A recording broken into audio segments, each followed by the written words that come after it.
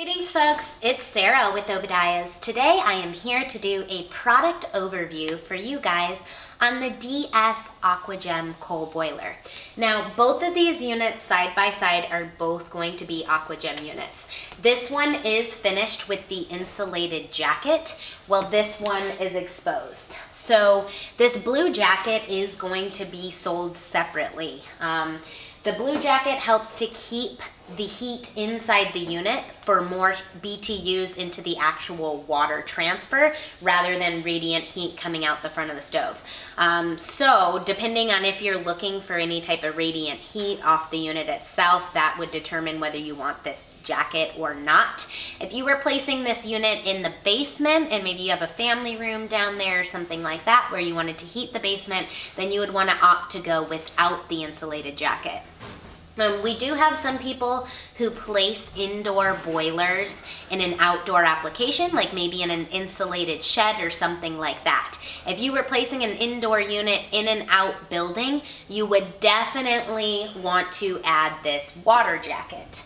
Um, so these are going to be labeled and sold as coal boilers. Now prior to 2015, they were sold as a wood coal combo boiler. We did have changes in EPA regulations that took effect in 2016. Um, those regulations state that any boiler that is rated to burn wood must meet these new EPA standards. Now that EPA testing cost is very, very expensive. So, um, and also once you get a unit EPA tested for wood, it cannot burn coal. The reason for this is because coal is an EPA exempt category. Okay, so a lot of boiler manufacturers that were producing multi-fuel wood coal units have opted to just take wood off of their label because that alleviates the need for that EPA testing since coal is exempt. Now I do want to clarify, nothing has changed in the design of the unit from when it was previously rated to burn wood and coal. Um, so the AquaGem line is going to be one of our most affordable indoor boilers that we offer. Um, it's very reliable mechanical style unit. So I'll go over some of the overview features. Um, this is obviously your fire door. This is going to be a manual feed coal unit, okay? So it's not a stoker.